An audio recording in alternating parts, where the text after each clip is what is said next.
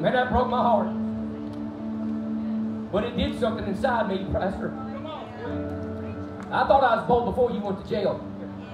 I'm crazy now. By the way, they just arrested another one Canada. Just arrested another man up there. And so I jumped down in the cedar chips, you know, and got to kicking around. And I began to preach that day. And I talked about how, man, wouldn't it be amazing if we could get Pastor Artur to come and just share his testimony and speak to us and take an offering for him and bless his church. This is interesting. He told us the other day we were in Tampa together. There's a big conference. he said they found out that they wouldn't arrest women yet, right? They're just arrested the men. So he came over to America, turned everything over to his wife, and she's running the whole homeless outreach and the whole food ministry outreach in Canada while he's over here. So they ain't arresting the girls yet, so he put her in charge. They knew that's wise.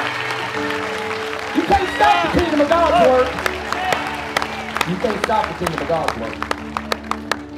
So I want to I want to show a clip. I think that we have it here. I want to show a clip on the screens, and then we're going to have him come up, and he's going to he's going to chit chat with us for a little bit, and get us fired up. It don't take much to get our folks fired up. Amen. We, we got that clip we can roll here just for a moment. This, this is the guy we get to be privileged to have under our tent today. This honor, this guy, one of my heroes right here. See if we get that going. Out! Out of this property, you Nazis! Out! Out! Gestapo is not allowed to.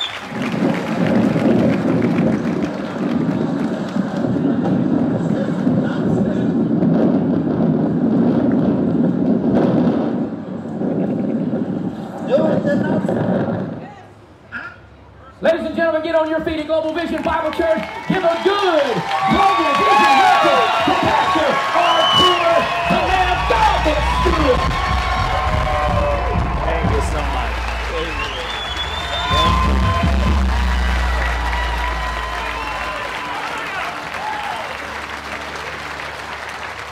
Wow, you are on fire.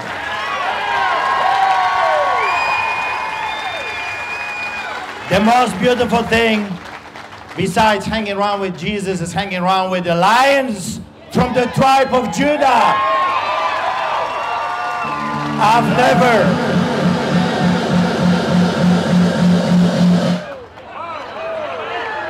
You do that next time, I'll say, get out! Wow. I have never seen so many lions in one place. You see, the enemy wants to turn us into chickens and turkeys, but do not allow them because if you do, you will end up on my grill. I've never cooked a lion. I've never cooked an eagle. See, those animals are peculiar animals. They are his animals. You don't touch them. And if you do, there will be a price to pay. Whoever touches the apple of God's eye, I'm telling you, God shows up and deals with them. I want you to stand up just for a second. And when we were at the conference, I've heard Americans chanting USA. But when they were doing that, I had this deep desire in my heart to chant with you, Jesus Christ. Because people ask me this simple question What is going to take, Pastor? What is going to take? What we have to do? You know, are you getting those questions all the time? What is going to take to turn this tide around? What is going to take to bring sanity back into this craziness? But you see, there is only one answer yesterday, today, and forever. There is one solution and one solution only. I don't know about 10 solutions. There is only one, and that's Jesus Christ. So let's let's sing it together. Let's chant together. Jesus Christ. Jesus Christ. Jesus Christ. Jesus Christ. Jesus Christ. Jesus Christ. Amen. Amen. Wow. You can sit. It's amazing to be in the United States of America. Do you know I'm part of American? They've adopted me. I am a son of this land. I love America. I always did. Do you know that our generals, Kosciuszko, fought for this land during the independence wars? We have Polish ancestors, Polish people coming here to this land fighting for freedom. Freedom. Without freedom, you have nothing left. You can have all the titles on the world, on your wall. You can be the richest man on the planet Earth. But I'm telling you, you can live in that palace, but without Jesus Christ, you're just another slave. You're just another slave. When I was in jail, I was freer than the jailers. When they put the shackle on my feet, and they did, and they stripped me naked, and they threatened me, and they pushed me on a wall, and they said, "Are we going to have a trouble with you?" I said, "No, I have a, I have a trouble with you. I have a problem with you." Boom! They shoved me on the wall. That's okay. They've done it to Jesus. They've done it to the apostles. They've done it to the heroes of old. Listen to me today. You want to accomplish great things for the kingdom of God? It will cost you everything. Not just your bank account, not just your houses, not just your cars. Everything or nothing. Life or death. Either him or the enemy. There is nothing in between. Three years ago, God spoke to me before this craziness started. And He said, You are about to witness the greatest separation between the sheep and the goats and the sheep and the wolves. Now you will know who is who. You will know. Soon you will know who is the real shepherds. Because Jesus says there's no greater love than this a man giving his life for his friends. Jesus did it. If we call ourselves the followers of Jesus Christ, we have to follow him all the way. He didn't say, pick up your toothpick and go to McDonald's.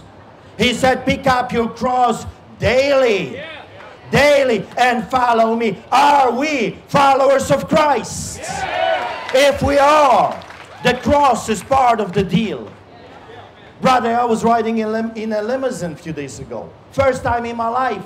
Normally, a limousine for me is the police car. and I have been taken number of times. And I said to God, wow, I now see all those hyenas going around. Look, Pastor Artur Pawlowski, you know, he's skimming from the top. Now he's going to be rich. And listen to me, I own nothing. But with Jesus, I own everything. It doesn't matter what you have here, it matters what He wants you to have. Oh, I have few things that I wanna, I wanna give it to you, brother. You were talking about courage. It's fascinating how the Spirit of God works. I didn't know what you're going to talk about, and here is what I have: quotes about courage. Is that not fascinating? When God is appointing you for such a time as this, He's giving you everything, everything. I mean, everything you need. Do you know that I had a free ride to the police station? Paid by taxpayers? Incredible. I mean, incredible. And they actually gave me a ride to the court back and forth. Incredible. Paid by my God. For such a time as this, what the enemy meant for evil, God turned around for good when I was on my knees. You see, when I fight with the hyenas and the wolves, I don't want to make their life easier. I want to make their life more difficult. So when they came to arrest me, I wasn't going to give them an easy ride. I went to my knees, I put my hands behind, and I said, Do it the Nazi style. Do it. You are acting like Nazis. You're talking like Nazis. Do it the Nazi style.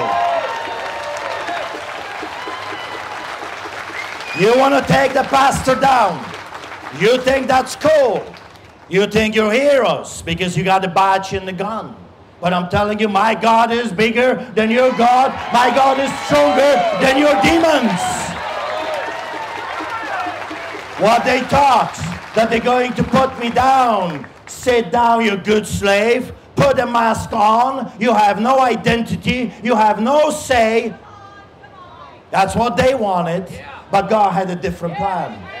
God always has a different plan. The enemy is moving, but my God is always on the move. Courage is contagious. When a brave man takes a stand, the spines of others are often stiffened. Billy Graham. In order to fly, you have to start flapping your wings. Eagles, this is what I see today. Are you willing to fly above the storms of this craziness? You gotta start flapping those wings. Lions, you own the savannah. It's yours. That's your promised land. Do not allow the hyenas to take what's rightfully yours. Courage is being scared to death and saddling up anyway. I'm sure you know that one. John Wayne. Only those who will risk going too far can possibly find out how far one can go. You see, when I had a vision, when my son was dying, my son was born with a heart on opposite sides, smashed lungs, and I went into a heavy rebellion against God. I did. I was yelling at him, Why me? Why me? Why is this happening to me, not to him? I had my moments of rebellion. I thought I was a Christian, but I was a lukewarm, good for nothing compromiser. You see, there is no place in the kingdom of God for compromise. He is a holy God. He is a holy God. Jesus had his moments in Gethsemane. When my son was dying, I had a vision. I saw Jesus in Gethsemane and he was afraid. Being afraid, that's a God given gift. You know that? If you're in the middle of a highway, be afraid of the semi truck. That's a good thing. If you climb a, a high, you know, wall or roof and you see down and you have a little bit of a fear, that's a good thing. Don't jump. Please, don't do it.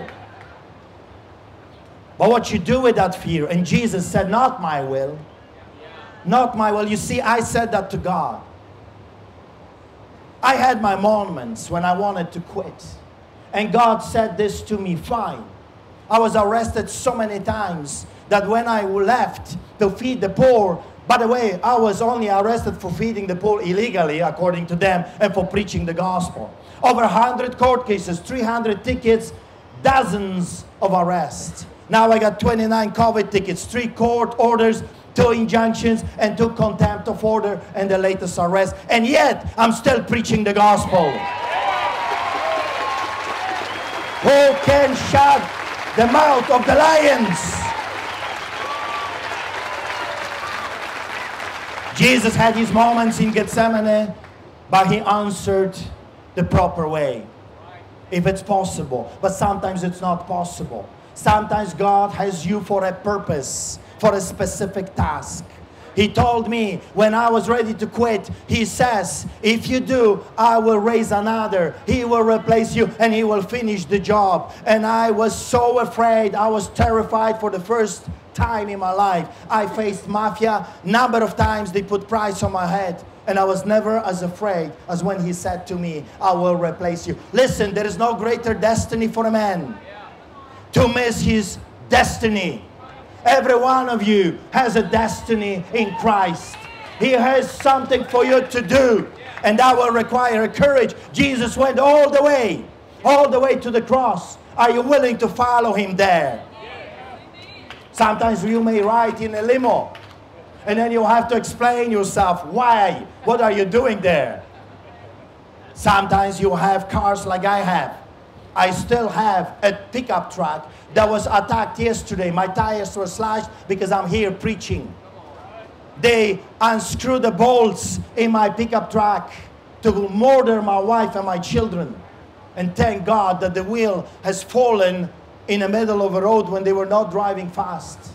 This fight is serious, but we know how the story ends. We know we win in the end. You will never do anything in this world without courage. It is the greatest quality of the mind next to honor. As pastors, as leaders, we've lost that courage. The courage of the heroes from the past, the apostles that said to the authorities, You be the judge whom we are to obey. You, you CBC or whatever you are, you, governor, you lying, thieving Fauci's and Biden's, you devils, whom we are to obey. You, you uncircumcised Philistines. We eat you for breakfast.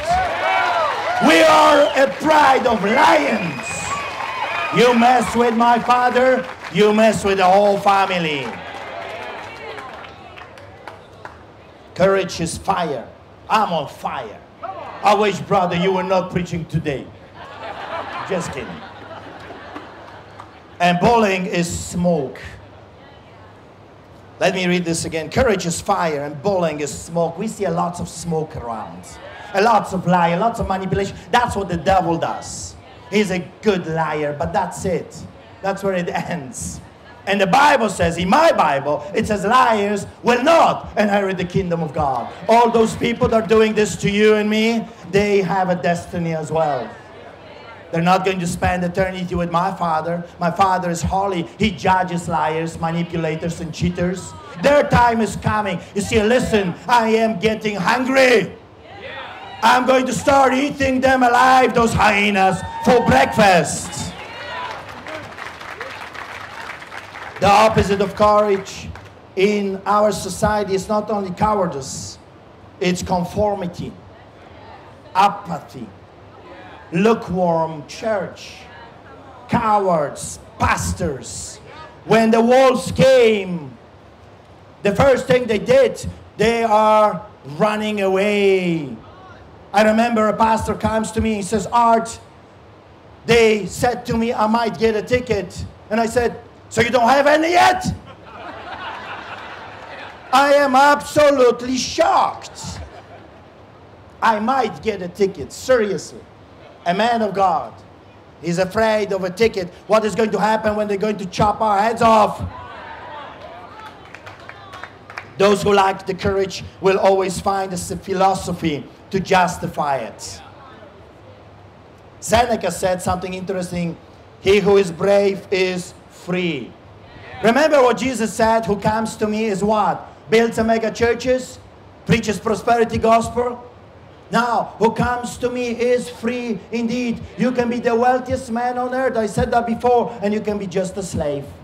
And you can be the poorest mouth, praising God, glorifying His name with nothing.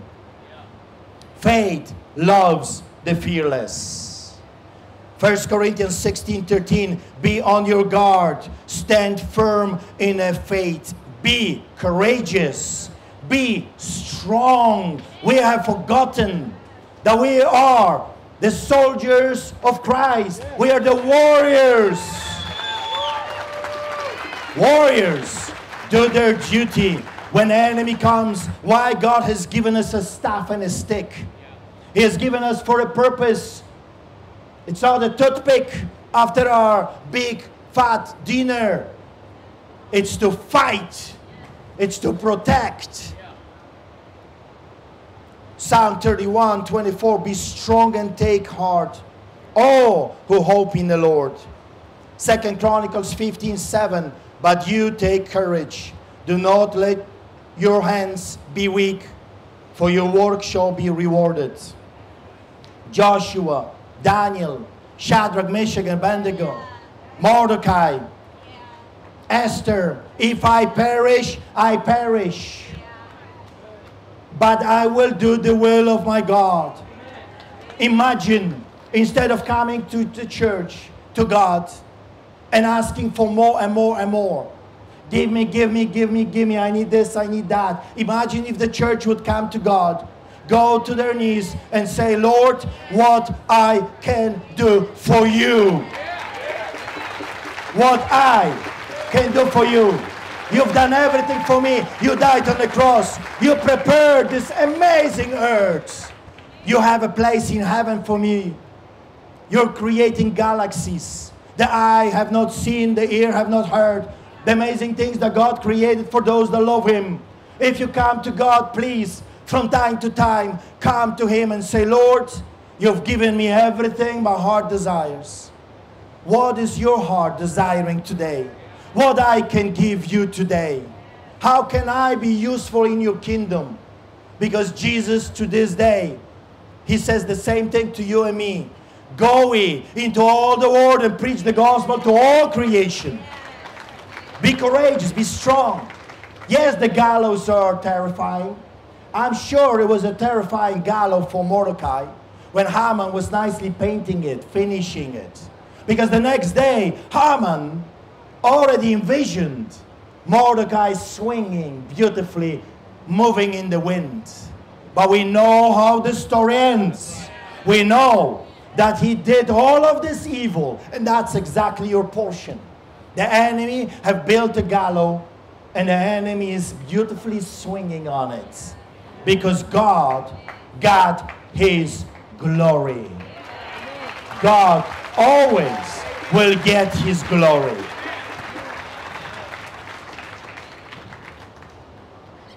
Even though I don't know what they're going to do to me when I come back. My wife said to me yesterday, she said, stay a little bit longer because they might hurt you. Let me take over. And that's what she did. And that's what she's doing right now. Today in the city of Calgary, my wife is leading Warriors, Lions, Eagles of Christ in the March for Jesus. We have a March for Jesus today. There is no greater name, no, nothing more powerful that can break the chains than the name of Jesus Christ. Lift him wherever you go. Never bow before the hyenas. Lions never do. Lions never do. Eagles, when there is a storm, they're so powerful, so beautiful, they can fly breaking the storms. When I was flying little planes, I remember going through the, through the clouds and it was dark. But I'm telling you, always, when you break the clouds, the sun is always shining. God is always there cheering you up. Go for it. Go for it. Go for it. Fight! Be blessed.